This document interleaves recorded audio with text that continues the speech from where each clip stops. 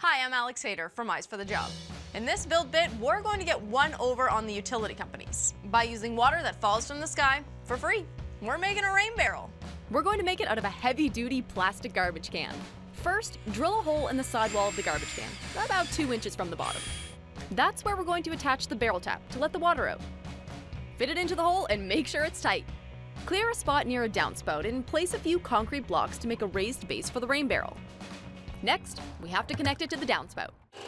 Cut a hole in the lid of the garbage can where the downspout will connect. Fit it up and tie the lid down with some zip ties. Voila, a rain barrel. A rain barrel is easy on the environment and on your wallet. You can keep your backyard green and save yourself some greenbacks.